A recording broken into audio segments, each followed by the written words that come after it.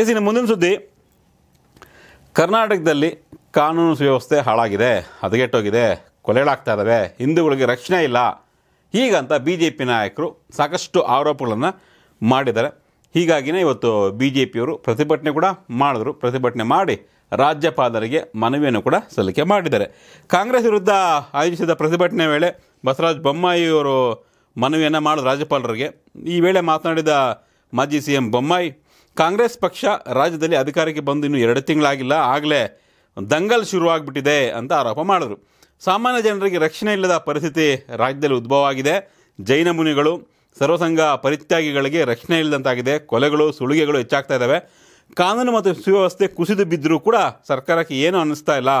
ನಮ್ಮ ಕಾರ್ಯಕರ್ತರ ಕಗ್ಗೊಲೆ ಆಗಿದೆ ಪೊಲೀಸ್ ವ್ಯವಸ್ಥೆ ಸಂಪೂರ್ಣ ವಿಫಲವಾಗಿ ನಿಷ್ಕ್ರಿಯವಾಗಿದೆ. ನಮ್ಮ ಕಾಂಗ್ರೆಸ್, ನಮ್ಮ ಬಿ ಜೆ ಪಿ ಕಾರ್ಯಕರ್ತರ ಮೇಲೆ ಹಲ್ಲೆ ನಡೀತಾ ಇದ್ದಾವೆ ಅಲ್ಲದೆ ನಮ್ಮ ಕಾರ್ಯಕರ್ತರ ಮೇಲೆ ಕೇಸ್ಗಳನ್ನು ಆಗ್ತಾ ಇದ್ದಾರೆ ಅಂತ ಆಕ್ಷೇಪವನ್ನು ವ್ಯಕ್ತಪಡಿಸಿದರು ಬಸವರಾಜ ಬೊಮ್ಮಾಯಿಯವರು ಜನಸಾಮಾನ್ಯರ ಕೊಲೆ ಆಗ್ತಾ ಇದೆ. ಬೆಂಗಳೂರಿನಲ್ಲಿ ಹಾಡಾಗಲೇ ಐ ಟಿ ಕಂಪನಿಯ ಇಬ್ಬರು ಮುಖ್ಯಸ್ಥರನ್ನು ಬರ್ಬರವಾಗಿ ಕೊಲೆ ಮಾಡಿದ್ದಾರೆ. ಆ ವ್ಯಕ್ತಿ ಕೃತ್ಯದ ಕುರಿತು ಇನ್ಸ್ಟಾಗ್ರಾಮ್ ಖಾತೆಯಲ್ಲಿ ಹಾಕಿದ್ದಾನೆ. ಕೊಲೆಗಡಕರ ನಿರ್ಭೀತಿ ಉದ್ದಡತನಕ್ಕೆ ಇದು ಸಾಕ್ಷಿ ಅಂತಿದೆ. ಪೊಲೀಸರು ಭಯ ಇಲ್ಲದ ಸ್ಥಿತಿ ಇದೇ ರಾಜ್ಯದಲ್ಲಿ ಅಂತ ಬೇಸರವನ್ನು ವ್ಯಕ್ತಪಡಿಸಿದರು. ಜೊತೆಗೆ ಆಡಳಿತದಲ್ಲಿ ಬದಲಾವಣೆ ಆಗಿದೆ. ಆಡಳಿತ ವರ್ಗದ ನಮಗೆ ರಕ್ಷಣೆ ಸಿಗುತ್ತದೆ. ಮತ್ತು ಸಮಾಜಘಾತ ಶಕ್ತಿಗಳು ಇವತ್ತು ಕರ್ನಾಟಕದ ಎಲ್ಲ ಕಡೆ ಗಲಾಟೆ ಹತ್ಯೆಗಳಲ್ಲಿ ತೊಡಗ್ತಾ ಇದ್ದಾರೆ. ಕೆಳ ಹಂತದ ಪೊಲೀಸರು ಮತ್ತು ಪೊಲೀಸ್ ಅಧಿಕಾರಿಗಳ ಮೇಲೆ ಒತ್ತಡ ಹೇರಲಾಗ್ತಾ ಇದೆ ಅಂತ ಆರೋಪವನ್ನು ಮಾಡಿದರು. ಪ್ರಾಮಾಣಿಕ ಪೊಲೀಸ್ ಒಬ್ಬರು ಮರಳು ಮಾಫಿಯಾ ತಡೆಯಲು ಹೋದಾಗ ಅವರ ಹತ್ಯೆ ಆಗಿದೆ. ಪೊಲೀಸರ ನೈತಿಕತೆ ಕುಸಿಯುವಂತೆ ಮಾಡಿದ್ದಾರೆ. ಇನ್ನೊಂದೆಡೆ ಹಿರಿಯ ಪೊಲೀಸ್ ಅಧಿಕಾರಿಗಳು ಬಗ್ ಬಗ್ಗಿ ನಿಂತು ಈ ಸರ್ಕಾರದ ಮುಂದೆ ಆದೇಶವನ್ನು ಪಾಲಿಸುವಂತೆ ಮಾಡಲಾಗ್ತಾ ಇದೆ ಅನ್ನೋ ಒಂದು ಆರೋಪಗಳನ್ನು ಮಾಡಿದ್ರು. ಸಾಕಷ್ಟು ಜನ ಎಲ್ಲ ಬಿ ಜೆ ಪಿಯ ನಾಯಕರು ಈ- ಪ್ರತಿಭಟನೆಯಲ್ಲಿ ಭಾಗಿಯಾಗಿದ್ದರು ಕೊಲೆಗಡುಕ ಕಾಂಗ್ರೆಸ್ ಸರ್ಕಾರ ಅಂತ ಆರ್ ಅಶೋಕ್ ಆಕ್ರೋಶವನ್ನು ವ್ಯಕ್ತಪಡಿಸಿದ್ರು. ಇದ್ರ ಜೊತೆಗೆ ಬಿ ಜೆ ಪಿ ವಿರುದ್ಧ ಕಾಂಗ್ರೆಸ್ ಏನು ಸುಮ್ಮನೆ ಇಲ್ಲ. ಈಗಾಗಲೇ ಕಾಂಗ್ರೆಸ್ ಕೂಡ ಬಿ ಜೆ ಪಿಯ ಈ ಒಂದು ನಾಟಕ ಅಂತ ಬಿ ಜೆ ಕಾಂಗ್ರೆಸ್ ಅವರು ಆರೋಪ ಮಾಡ್ತಿದ್ದಾರೆ. ಆರೋಪಿಗಳನ್ನು ಈಗಾಗಲೇ, ಇನ್ನು ಕೊಲೆ ಆರೋಪ ಏನು ಮಾಡಿ, ಕಾಲು ಕೊಲೆ ಆರೋಪಿಗಳನ್ನು ಈಗಾಗಲೇ ಅರೆಸ್ಟ್ ಮಾಡಲಾಗಿದೆ.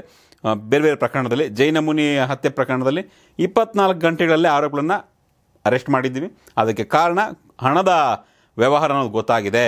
ಆಮೇಲೆ ಮೈಸೂರು ವೇಣುಗೋಪಾಲ್ ಹತ್ಯೆ ಪ್ರಕರಣ ಇಪ್ಪತ್ನಾಲ್ಕು ಗಂಟೆಯಲ್ಲಿ ಅಲ್ಲೂ ಕೂಡ ಆರೋಪಿಗಳ ಬಂಧನ ಆಗಿದೆ.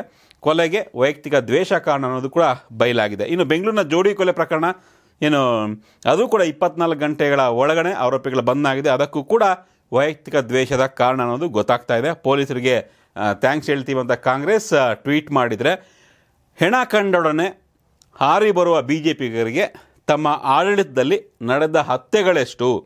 ಆರೋಪಿಗಳಿಗೆ ಜೈಲಿನಲ್ಲಿ ಬಿರಿಯಾನಿ ಸೇವೆ ನೀಡಿದ್ದೇಕೆ ಎಂದು ಹೇಳ್ತೀರಾ ನೀವು? ಅಂತ ಪ್ರಶ್ನೆ ಕೂಡ ಮಾಡಿದ್ದಾರೆ.